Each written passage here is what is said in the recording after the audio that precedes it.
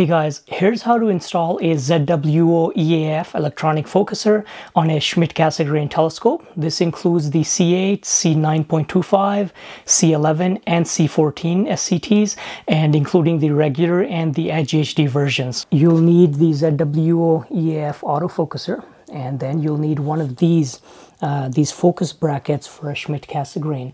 Uh, now you can get one set that's for a C8 and C9.25 and a different set that's for a C11 and C14. And the main difference is just going to be this coupler that comes with the C11 and C14 bracket has a larger hole diameter uh, to fit the larger focuser shaft on the C11 and C14 compared to the C9.25 and C8. We will need to take this knob off and that can be a little bit hard so what you can do is uh, just hold a piece of paper and use a flathead screwdriver. And then just wedge it under here gently and then pry upwards. And then you just pull it off. Now you'll need one of these little Phillips head screwdrivers um, because back here there are going to be these Phillips head screws. Uh, I replaced mine with the with a different kind of uh, bolt over here. So yours will just be a regular Phillips uh, head screwdriver uh, no matter what kind of SCT you have. So we'll need to take those off.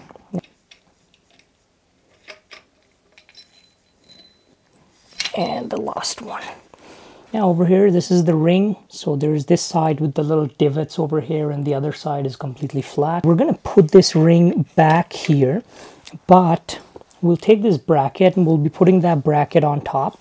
Uh, but the easiest way is actually just to disassemble this bracket first. So let me just take this apart. That'll give us some more room for adjustment. So I'll take off these two screws that are right down here.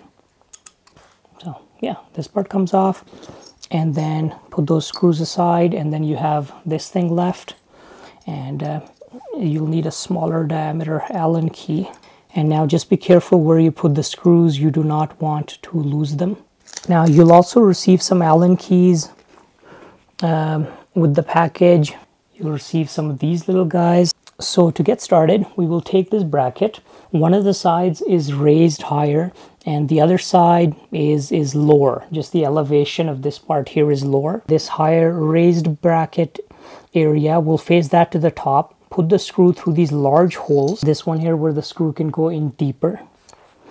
And then put the this one over here. So we'll orient this part facing a little bit away from the SCT. If your SCT is standing up straight, you just want to make sure that it's oriented towards the outer part of the scope. Otherwise, your bracket will hit this area over here and then you won't be able to properly tighten things. Now, if you're struggling to get that last bolt in there.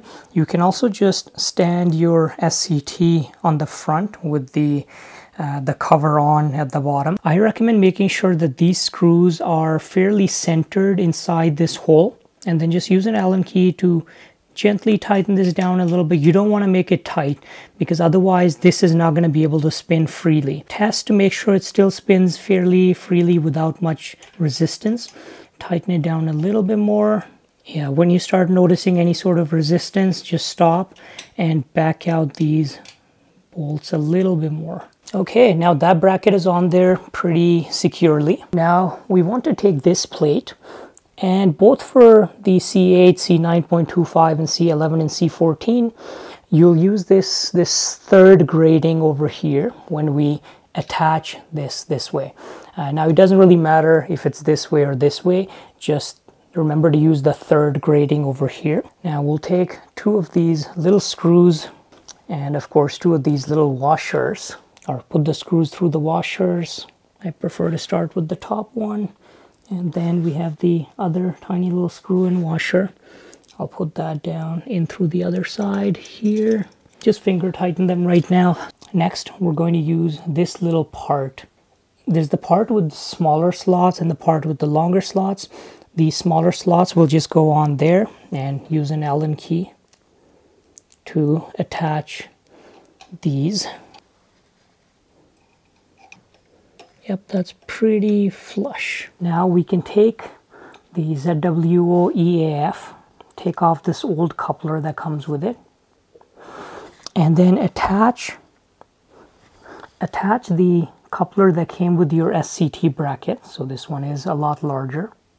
So you'll see a flat area on here on the EAF autofocuser. And you just want to take one of the grub screws and line it up with that flat area. Hold it in place and then gently just tighten this grub screw. Okay, now you don't want to tighten it fully yet. You just pull it out a little bit so it's not, this thing isn't touching the focuser. And now the other side.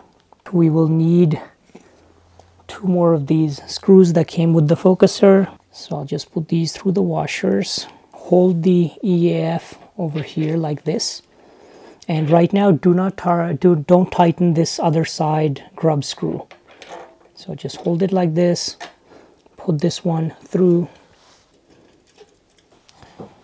same thing with the second one and just tighten that in by hand. At this point what we should do is hold this so that this these two brackets here are lined up. Okay, now we can fully tighten those two down. Now I want to make sure there is space on this side and this side so this aluminum part is not rubbing against either side. Okay, now you can tighten them down fairly tight, like not too too tight, but fairly tight.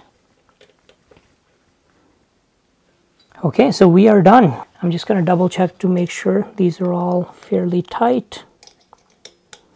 Yep. You can test this out by downloading the ZWO imaging software or any other program like Nina. And then you just have to download the ASCOM driver for, for this focuser if you want to control it using some uh, imaging software like Nina.